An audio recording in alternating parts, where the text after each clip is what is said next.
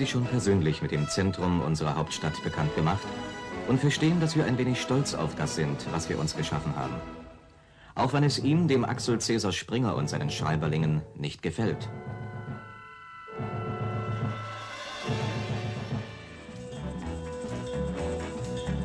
Die Deutsche Demokratische Republik ist nun einmal eine international anerkannte Realität. Und noch mehr. Sie wurde zum Anziehungspunkt für viele Gäste aus aller Welt, die bereits an unseren Grenzübergangsstellen die Erfahrung machen können, dass hier die Kontrolle sehr exakt, gewissenhaft und korrekt erfolgt. Wir nehmen es eben genau mit dem vierseitigen Abkommen über West-Berlin und dem Berliner Vertrag.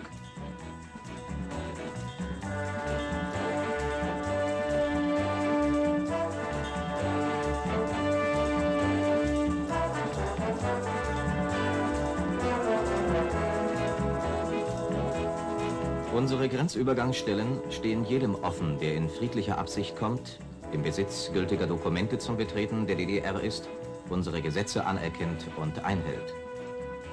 Er sieht dann mehr als aus diesem Blickwinkel einer Westberliner Stadtrundfahrt und kann unsere Hauptstadt richtig kennenlernen.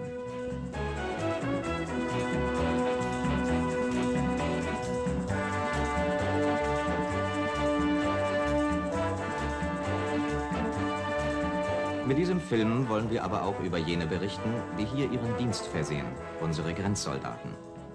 Mein Name ist Gefreiter Manfred Buchtenkirch, bin 24 Jahre alt, bin in einem kleinen Ort in der Nähe Blankenburg im Harz geboren, bin dort aufgewachsen, dort zur Schule gegangen, bin dann nach Abschluss der 10. Klasse in Blankenburg, habe ich dort meine Lehre angetreten und zwar im Forschungs- und Entwicklungswerk des Verkehrswesens. In diesem Betrieb habe ich dann meine Lehre abgeschlossen und bin dann ein Jahr als Dreher, im Weiteren dann als Fräser tätig gewesen, bis zu meiner Einberufung zur Nationalen Volksarmee im Mai 1972.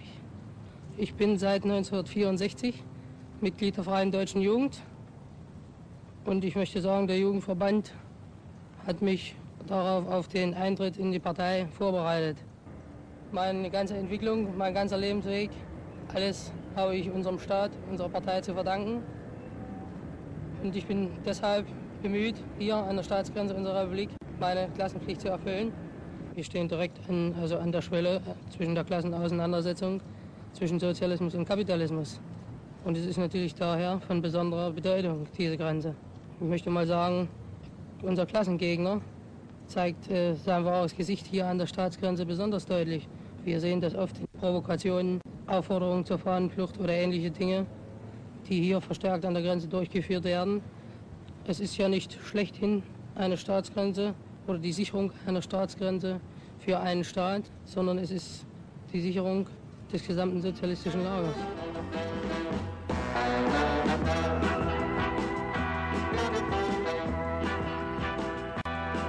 Und es ist ein sehr verantwortungsvoller Dienst hier an der Staatsgrenze zu West-Berlin. Denn Kindergärten und Schulen, Wohngebiete und Baustellen, auch Gärten und Sportstätten, Bahnanlagen und Flüsse liegen in unmittelbarer Grenznähe.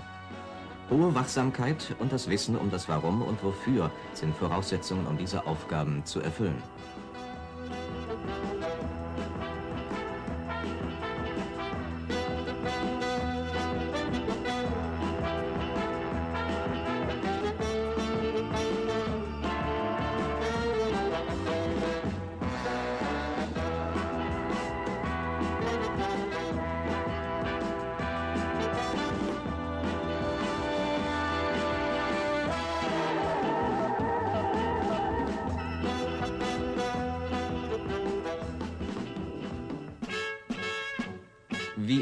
Kaserne, die den Namen des ersten sowjetischen Stadtkommandanten von Berlin trägt, werden die jungen Grenzsoldaten im Geiste des proletarischen Internationalismus und der revolutionären Traditionen der Nationalen Volksarmee erzogen.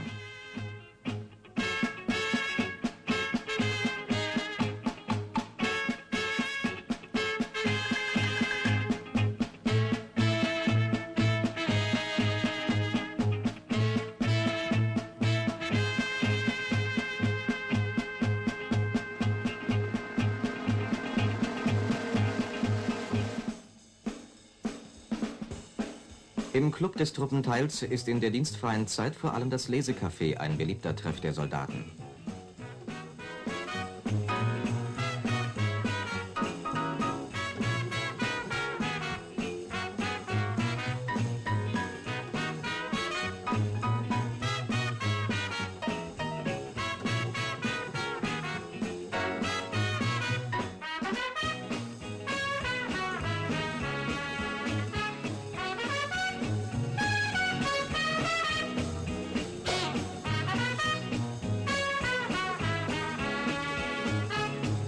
Im Grenzdienst auf der Spree.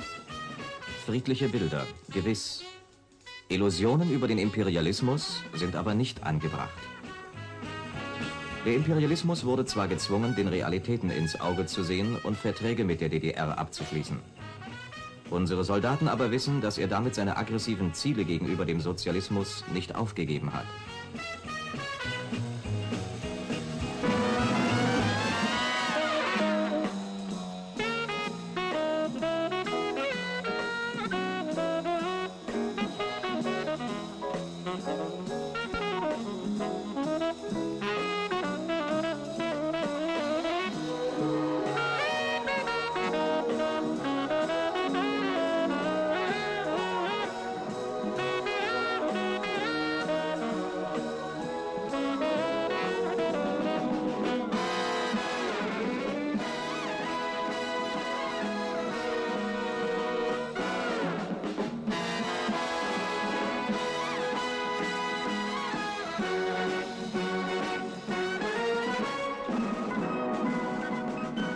Tagtäglich passieren Zehntausende Besucher die Grenzübergangsstellen in unser sozialistisches Berlin.